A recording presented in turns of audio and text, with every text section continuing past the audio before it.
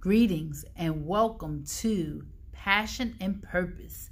Today is Thursday, January the 2nd, 2019, and it is another beautiful day that the Lord has brought us through. Thank you, Jesus. Today, we're going to talk about being led on a path.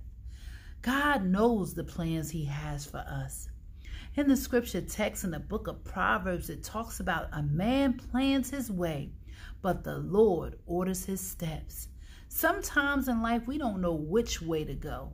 We don't know whether to go forward. We don't want, know whether to go backwards. We don't know whether to go left or right.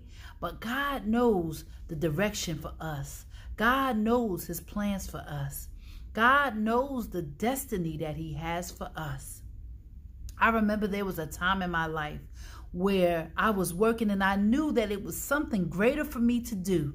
There was a tug at my spirit, a burden on my spirit because I knew that there was more for me to do. And guess what? God led me. God led me on the path. Even when I was on the path and I was unsure, God was with me along the way. He was with me along the way and He showed me things along the way. He strengthened me along the way. He gave me adversity along the way, but it, what it did was it built my faith.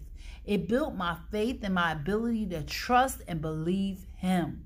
It built my faith and my ability to look to Him and not to my own understanding. And God has brought me to places that I never thought I would go because I lean and depend on Him. So, what is the message for you today? The message is to trust the Lord because He will direct your path. Trust in the Lord with all your heart and lean not to your own understanding, but in all your ways acknowledge Him and He will direct thy path.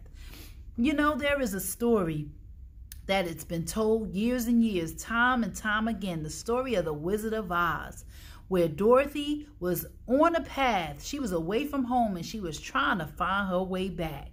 And there was a road that she had to travel. There was different things she had to experience, people that she had to meet, different tests and trials along the way to get her to realize what she was really looking for she already had.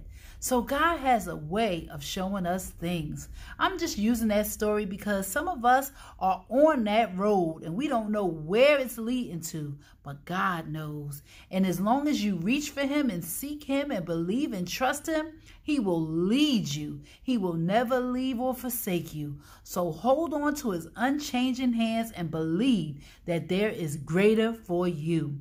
So as I leave you on this evening, remain blessed, remain resilient, Keep walking and talking with the Lord and follow your passion and purpose. God bless you.